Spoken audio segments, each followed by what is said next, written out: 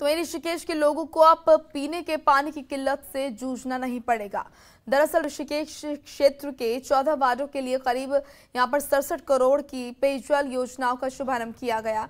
वहीं करने विधानसभा अध्यक्ष प्रेमचंद्र अग्रवाल और मेयर अनीता ममगाई ने करोड़ों की पेयजल योजना का यहाँ पर शुभारंभ किया। इस क्षेत्र के लिए बड़े हर्ष का विषय है। जो कि पानी के लिए लगातार जैसे गर्मी बढ़ती थी और पानी की बड़ी समस्या हो जाती थी।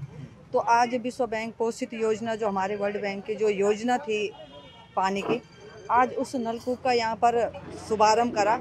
अड़सठ करोड़ की लागत से ये बनने जा रहा है, जिससे हमारे चौदह वार्ड, जिसमें पचास हज़ार की आबादी लाभान्वित होगी और उससे निश्चित तौर पर सभी को शुद्ध पेयजल पीने के लिए मिलेगा।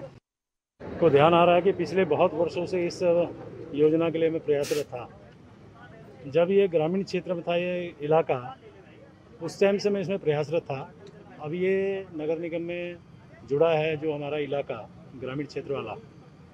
और सड़सठ करोड़ की लागत से, अब आप देखिए, शिवाजी नगर एक ऐसा मेरा इस विधानसभा क्षेत्र का हिस्सा था कि जहाँ बहुत प्रयास करने के बाद भी हम जल की स्थिति में नहीं ला पा रहे थे।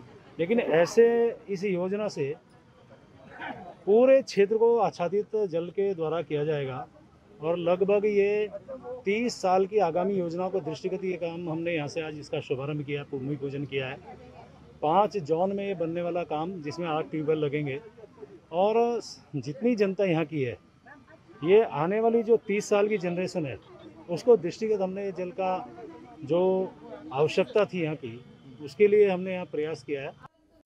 खबरों के निष्पक्ष विश्लेषण के लिए सब्सक्राइब करें Jantantra TV and press the bell icon. Never miss any update